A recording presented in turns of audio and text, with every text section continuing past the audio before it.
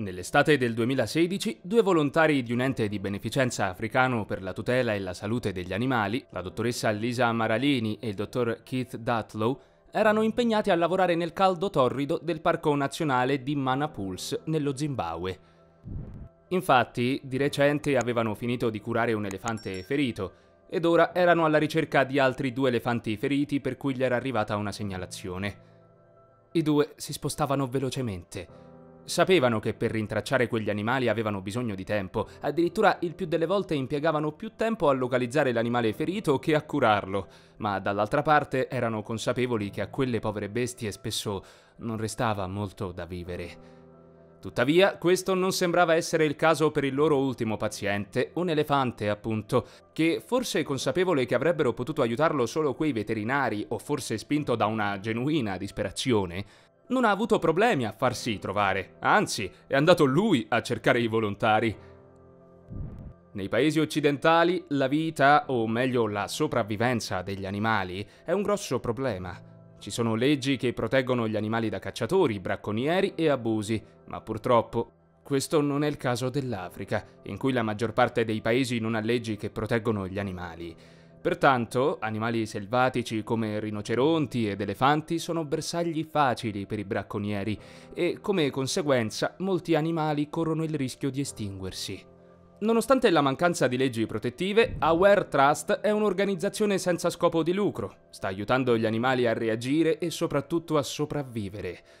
L'organizzazione, fondata dal dottor Keith Dutlow e dalla dottoressa Lisa Maralini, lavora da anni per proteggere la fauna selvatica in Zimbabwe, ma qual è stata la motivazione alla base del ritrovamento dell'organizzazione? Qual è il loro più grande successo fino ad oggi?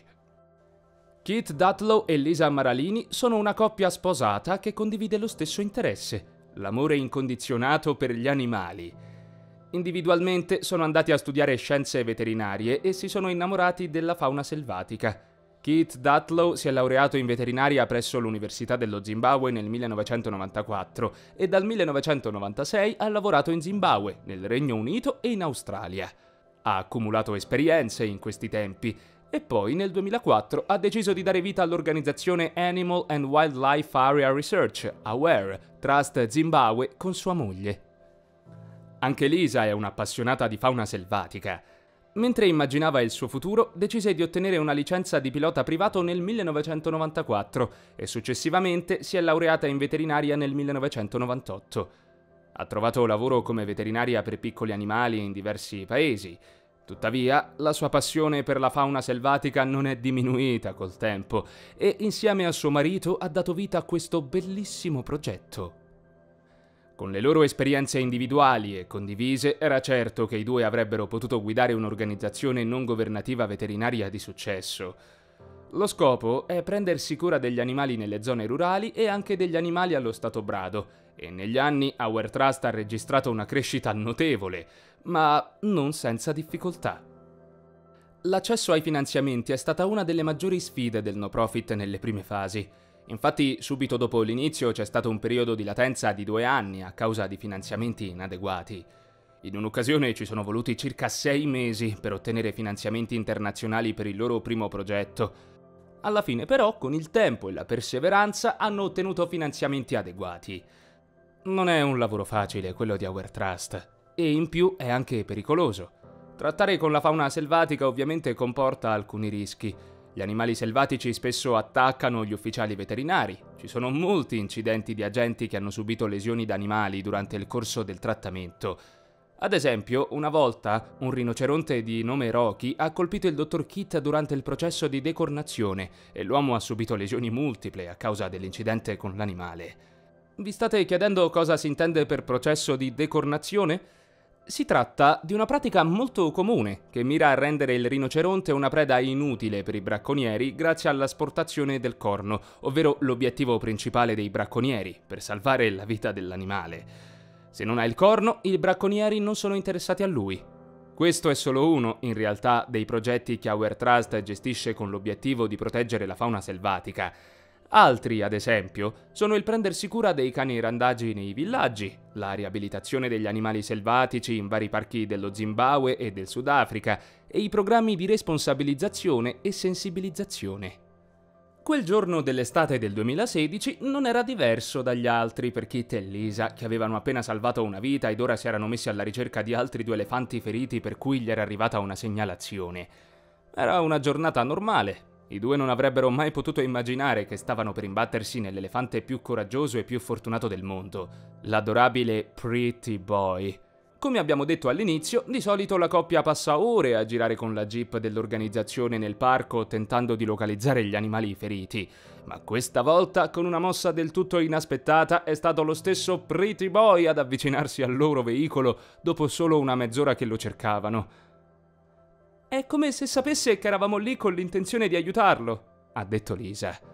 Ma appena lo videro, lo stupore sui loro volti svanì e si tramutò in orrore. L'animale aveva un proiettile conficcato in fronte. La sua situazione era gravissima. Kit e Lisa hanno immediatamente tranquillizzato l'elefante mentre chiamavano i soccorsi e con i giusti sedativi, quando arrivarono gli altri veterinari, furono in grado di fornire a Pretty Boy le cure mediche di cui aveva un disperato bisogno.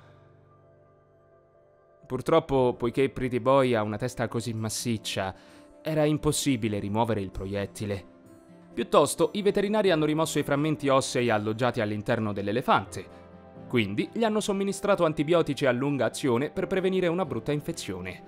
E più lavoravano, più era chiaro a tutti. Pretty Boy era davvero l'elefante più fortunato del mondo. Se il proiettile lo avesse colpito un po' più in basso, sarebbe entrato nel suo cervello e lo avrebbe ucciso. Il giorno dopo la procedura, i veterinari hanno riferito che Pretty Boy si sentiva meglio e si stava riprendendo bene, e speriamo davvero che questa sia la sua ultima interazione con un bracconiere.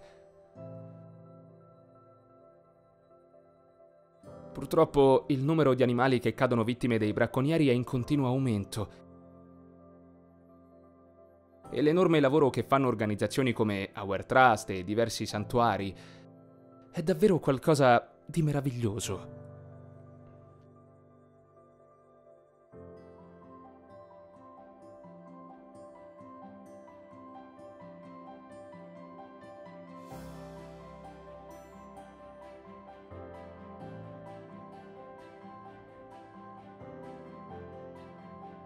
Questo è tutto per oggi ragazzi, se questa storia vi è piaciuta cliccate il video sullo schermo per altre storie simili.